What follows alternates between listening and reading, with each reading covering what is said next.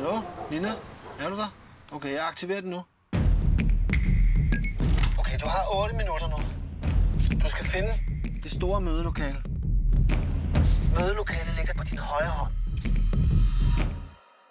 Er du der? Du har to minutter tilbage.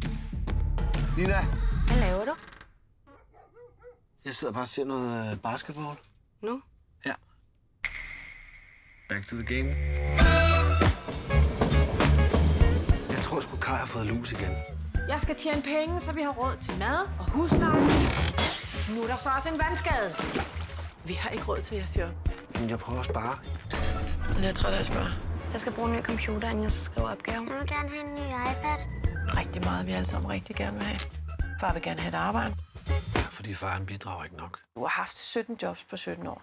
Du spil på maven. Kan det passe, at jeg så dig sidde bag på en scooter i dag? Min kæreste kører ikke scooter. Hvad kører han så? Har du fået en kæreste? Han kører pickup, og han hedder øh, Patrick. Du fortælle mig, hvad vi gør forkert med de børn? Jeg har løjet over for dem i 17 år. Før vi fik dig, der var mig og mor kon-artister. Men da vi fik dig, der lagde vi også alt det bag os. Og så fandt vi det her sted. Og det var præcis det, som vi ville. Nej, det var det ikke. Det var det, vi havde råd til. Vi lever et helt andet liv nu. Ja, et liv, som jeg ikke kunne have levet, hvis jeg havde åbnet munden. Hvad foregår der, Jacqueline? Jeg vil gerne have jer med igen. Der er en million euro i det. Hele det her mor og far og børn og hus, altså. Synes du, det virker? Men Nina, så findes jo en måde, hvor vi kan få alt det, vi drømmer om. Kan vi stole på hende? Det er et job, og det er mange penge.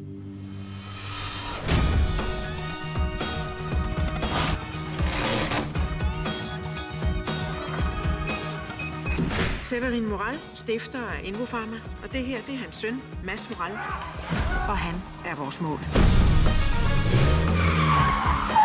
Hvem er det? Det er Kai. Det er 15 millioner, og så har du taget din 8-årige dreng med. Ja, men han har fået besked på at blive bilen.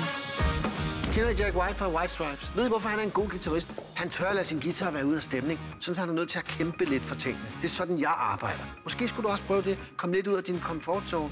Det hedder comfort zone.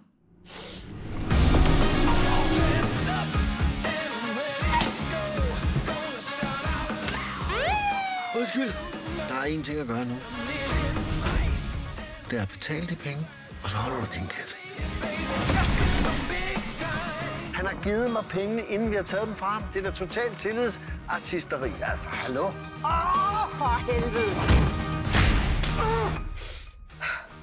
Det skal altså helst kunne ses, ikke? Du kunne fandme selv at slå hovedet ned i bordet. Hvor, hvorfor skal jeg gøre det her? Fordi det ser sgu ikke rigtigt ud, vel? Kom nu. Tror du, at det er for sjovt, det her, eller hvad? Det her lort. Fordi jeg gerne vil have, at vi skulle have et liv sammen igen, ikke? Jeg gjorde det for os. Hvad laver du? Jeg går hjem. Til hvad? Til friheden? Min mor og far er ikke kommet endnu. Er de forsinket? Nej, jeg tror bare, det er fordi vores bil er sprunget i luften.